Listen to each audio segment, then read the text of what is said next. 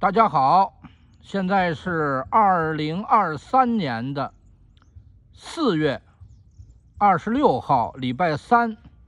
现在是西班牙巴塞罗那时间的上午的十点零五分啊。我们这特别暖和啊。现在我坐在我们家草地上啊，弄了个小板凳儿，跟大家扯两句啊，侃会儿大山，扯扯淡啊，聊聊天儿。这个有一个叫董玉玉的董，董必武，董卓的董啊，董文华，哈哈哈，董文华啊，董文华，赖昌星是吧？姓董，玉第一个玉是那个唱歌的叫郁金剑，郁金剑吧，郁郁葱葱的郁，郁闷的郁。第二个玉叫第二个是那个玉石的玉啊，玉石俱焚的玉。董玉玉，一个五十九岁多的人，还有仨月啊就要退休了。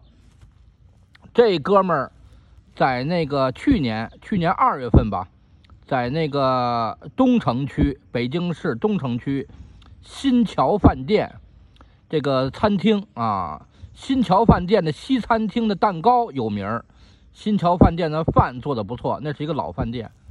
在那儿跟一个日本大使馆的驻华外交官吃饭的时候，被这个国家安全部门，应该就是北京市安全局吧，北京市国家安全局啊，那还是我的老客户啊，我给他们食堂送货，原来被这个北京市国家安全局给抓了，然后最近这个要宣判了啊，要判刑了，要起诉了，然后把那个日本外交官也给扣了一段时间啊，扣了几个钟头吧。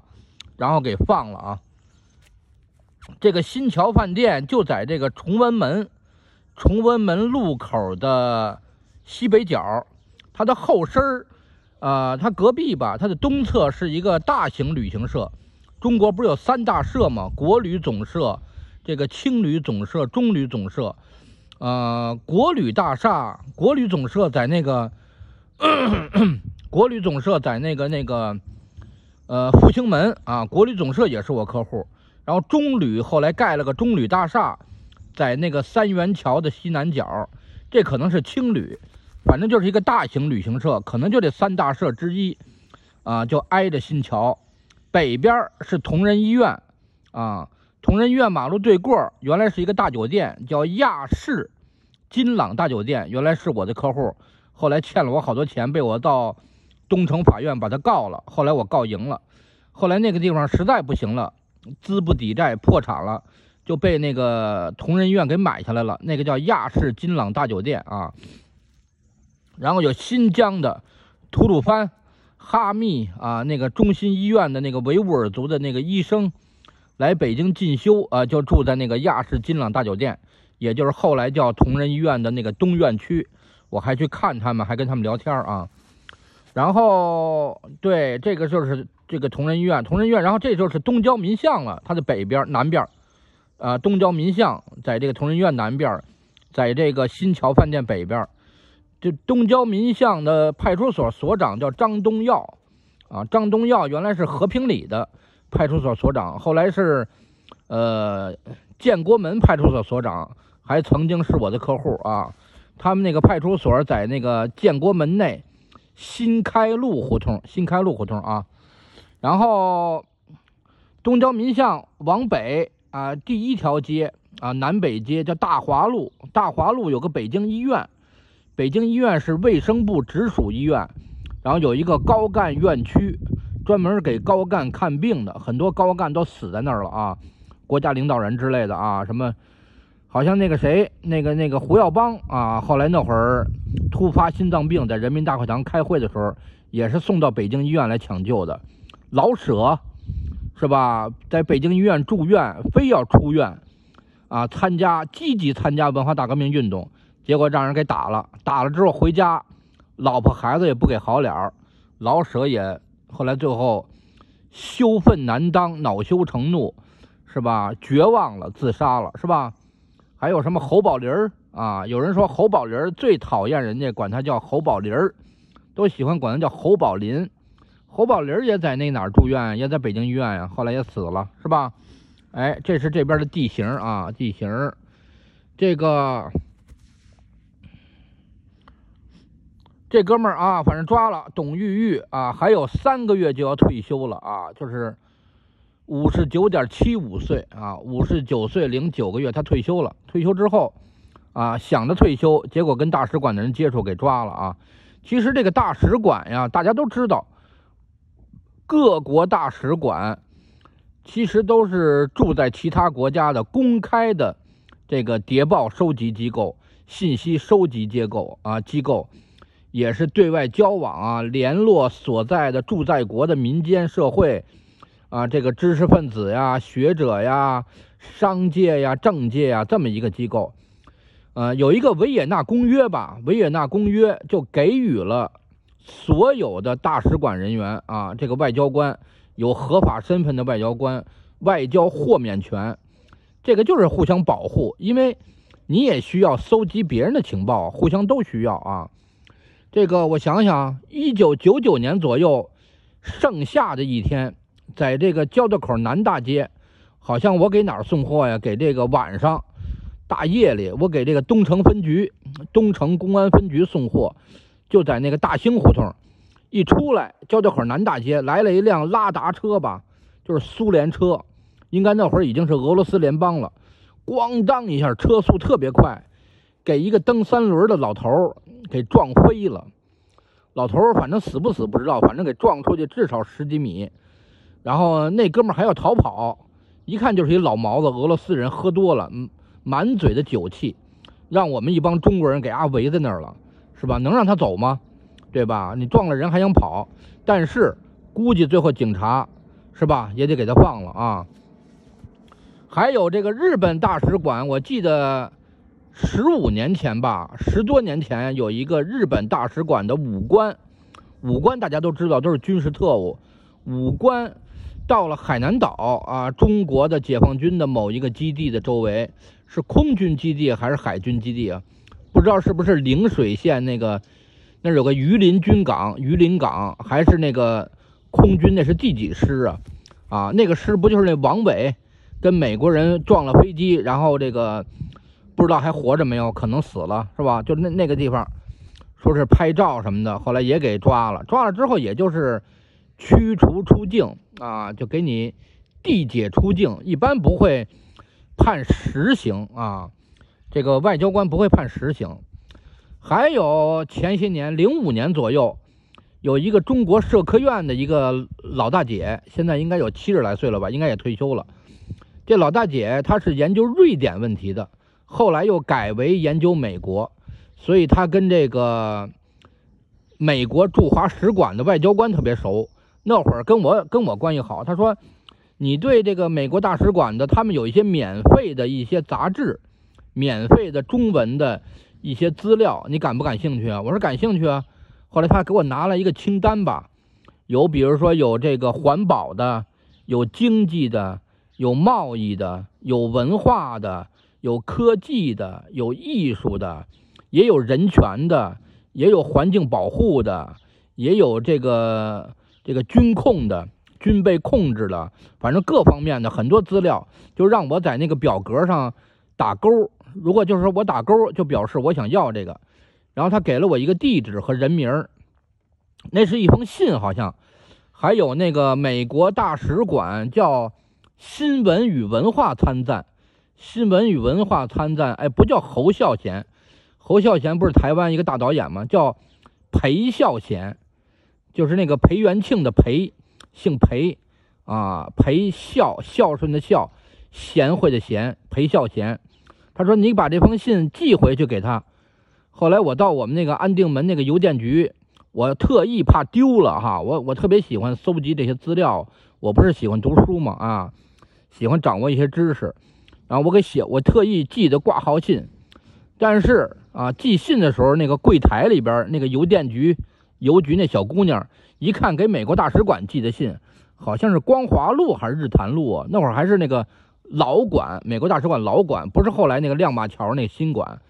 哎，那小姑娘就露出来一丝诡异的微笑，我记得啊，诡异的微笑啊，嘴角稍微咧一下。我一听，我一看，我就知道这封信美国人收不到了。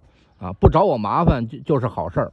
是吧？因为我对这东西比较敏感嘛，哎，结果还果真，后来那就没有人给我寄来任何资料，因为我知道这个安全系统、国安系统啊，比如说国家安全部，比如说公安北京市国家安全局，要到一些自治区叫厅，安全厅，省里边都叫厅，他们有一个专门就叫邮电检查处，啊，你寄信，过去主要靠寄信，后来就电信检查处。哎，你这打电话、手机啊，这个各种的这个信件啊，你包括那会儿戴笠搞那个军统局啊，这都给你查，你知道吗？你以为你的通信是自由的，你完全没有人监控你，这都不可能的事儿啊。所以后来也没人找我麻烦，但是那些资料，美国大使馆也没给我寄啊。说起来，社科院的这些人啊，我说的社科院的女性。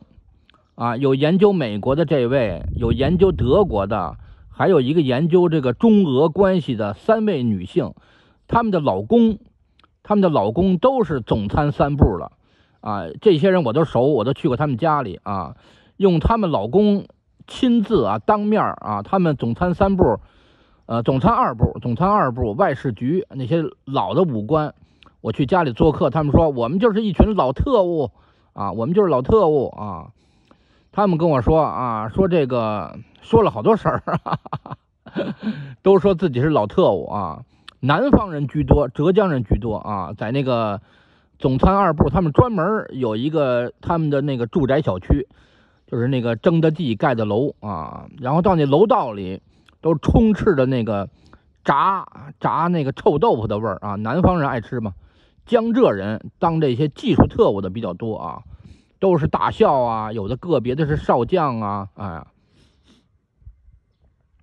反正啊，你跟外国人接触，包括那个外交公寓，比如说东直门外啊，那儿有一片叫塔园吧，啊，建国门那儿有一片啊，外交公寓，建国门那儿有一片八九六四的时候，那个那个加拿大的外交官不是从楼上拍的那个视频，拍当时不叫视频吧，啊，就是反正拍那么一段，后来不是还上传到这个国际媒体吗？后来不是中国政府赶紧就把那个卫星信号不就给掐了吗？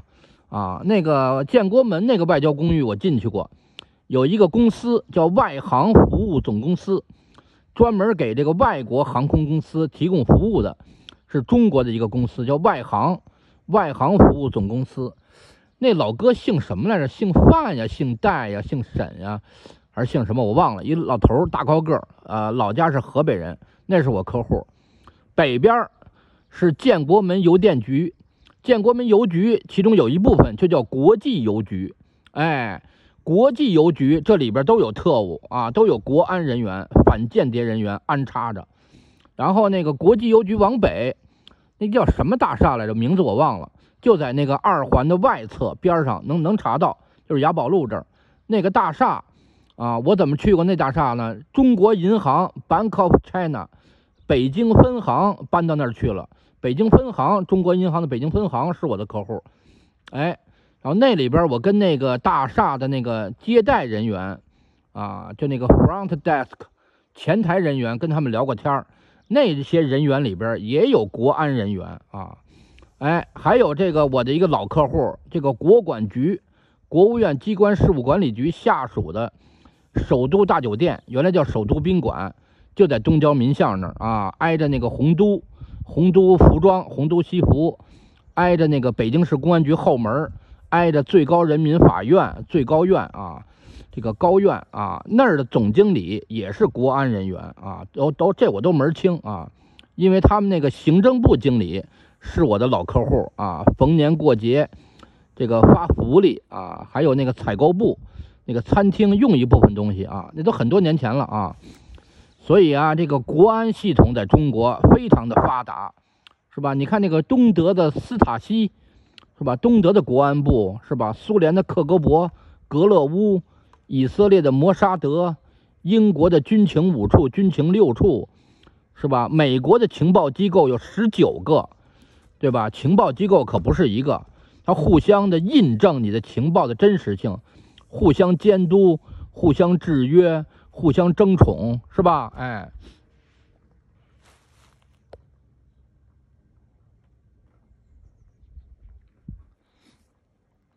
日本大使馆搬家了啊，前些年盖了新馆舍，搬到那个亮马桥路去了啊。那条路上还有以色列大使馆，还有女人街，有那个凯宾斯基饭店。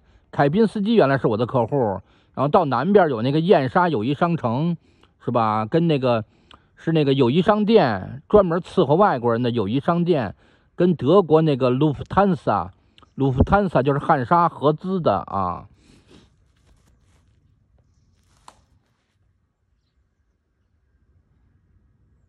现在基本上他制造一种恐惧吧。现在你跟外国人接触，现在政府是非常的不乐意，所以把这个叫董玉玉的这哥们儿马上就退休了，还有仨月就退休了，给这哥们儿判了啊，挺严的啊。前两天有一个那个东北人富察延鹤，也叫李延鹤，娶台湾媳妇儿，老上台湾的政论节目，也批评中国政府的。批评这个 CCP 的，是吧？回上海探亲，给这哥们儿抓了，是吧？还有一个长期住在芬兰的，啊，长期住在芬兰的一个沈阳人，他是满族，想成立满洲国，回沈阳探亲也给抓了，那是两三年前的事了吧？啊，还有一个上海人，上海人在上海开书店的，后来他们家移民美国，他有仨孩子吧？好像有一个儿子。呃，两个女儿是双胞胎，然后他老婆去年回上海，好像是父母生病了，回上海探亲，照顾自己生病的爹妈，结果给他老婆扣在上海不让走了，说你老公是不是用笔名儿、用化名儿，在国外的媒体上这个抨击中国政府啦？啊，你这个针砭时弊啦，是吧？你这个发表一些不恰当言论啦，啊，说你没问题，不用不会抓你。让你老公回来谈清楚，是吧？还有前几年那个谁，去年还是前年，三三年前吧，那个周周侃，啊，有人说他叫什么沈度，是吧？周周侃也是个自媒体，回中国之后这三年了，活不见人，死不见尸。啊，大部分人认为他被抓了，被判了，少部分人说他是卧底，他就是国安呀或者什么人，说回去就完成任务，就回去交差了。不清楚啊，不清楚。反正那人挺好的，看着小伙子，白白净净的，那皮肤挺嫩的，看着跟个小孩似的。但是看着那那人说话有点天真，有点天真啊。有的时候感觉没有阅历，缺少社会经验，是吧？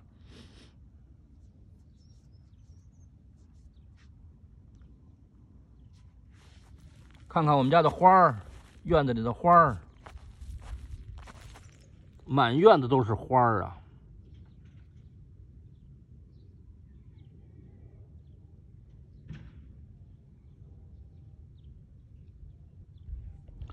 这个《光明日报》啊，原来是民主党派的，是这个民盟的，呃，创办人好像是沈钧儒吧？不是沈钧儒，梁漱溟。梁漱溟后来一开始跟共产党关系好，后来批评毛泽东。让毛泽东整的够呛啊！梁漱溟表面上是南方人吧，实际上他是蒙古人，是吧？后来那什么什么楚安平啊、张伯钧啊这些大右派都是民盟的呀，他们都是还想跟共产党轮流执政，后来都给整了。楚安平后来好像都是这个活不见人、死不见尸，都失踪了啊！不知道是自杀了还是给弄死了，是吧？什么张伯钧呀，什么罗隆基呀。好像这批人都是民盟的啊，一开始都是跟着共产党一块儿这个抨击国民党，后来都被被毛泽东吧也整的是他妈的七荤八素、九死一生、生不如死，是吧？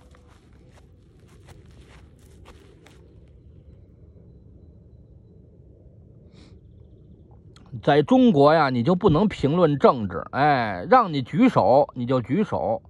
是吧？举手就代表同意、拥护、支持，是吧？不同意的有没有？没有，没有，没有，是吧？哎，全票通过就完事儿了，是吧？另外，你还接触外国人，这都很危险的。你看那个外国人来中国，都住在涉外指定宾馆，外国人想随便住个店都不行。是吧？就得监视你们丫挺的，是吧？谁让你们家呢老想颠覆我们伟大祖国呢？对不对？哎，铜墙铁壁，固若金汤，是吧？你再早，你你听个收音机，所谓的偷听敌台，是吧？我看美国之音做过一节目，采访什么魏京生啊，什么龚小夏呀，一大堆人。那会儿他们偷听敌台，有的人偷听敌台就给枪毙了，就给宰了。不让你听到外部的声音，只能有同一个声音，对吧？定于一尊，不得妄议中央。哎，伟大领袖毛主席教导我们说：“美帝苏修，亡我之心不死。”这个我是谁呀？是政府吗？还是人民吗？是民族啊？还是国家呀？是吧？揣着明白装糊涂，是不是？到处都是花啊，野花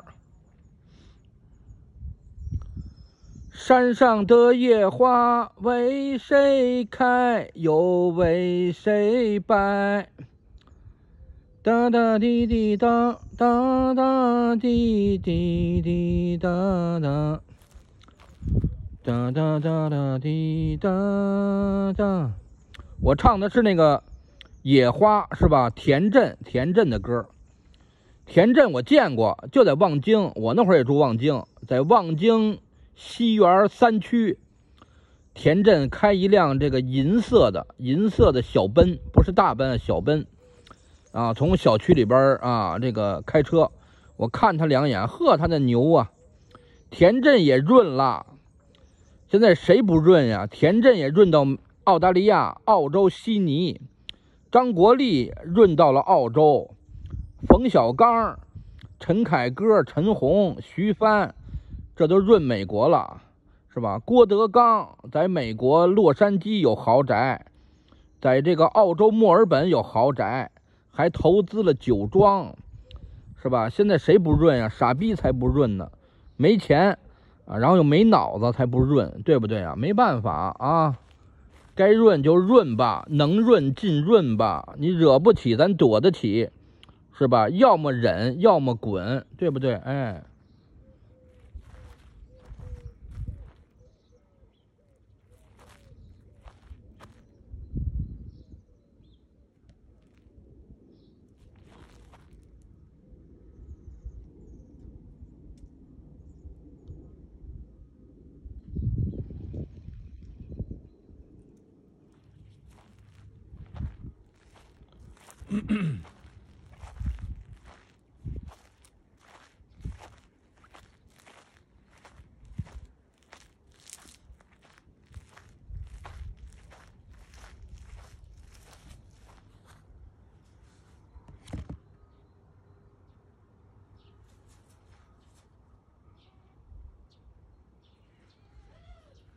你来干嘛了，咪咪？嗯嗯，来蹭我腿来了。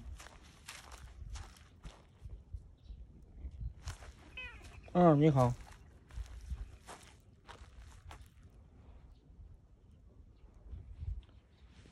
吃饱了没有啊，咪咪？我们这大概二十度左右，十八度到二十二度吧，二十度左右，气温特别好，这个晒在身上特暖和。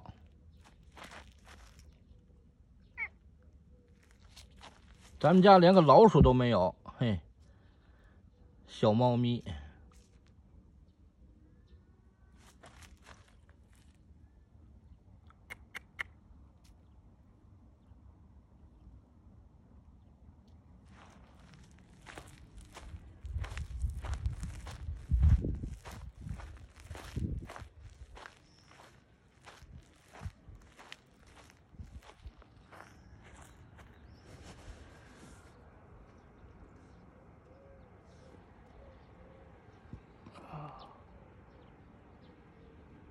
这是石榴树啊，过几个月大石榴就结了。再过四个月吧，四五个月。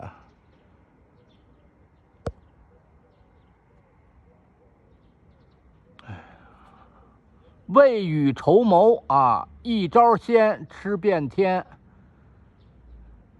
该脚底下抹油啊，该颠了啊，撒丫子就颠了。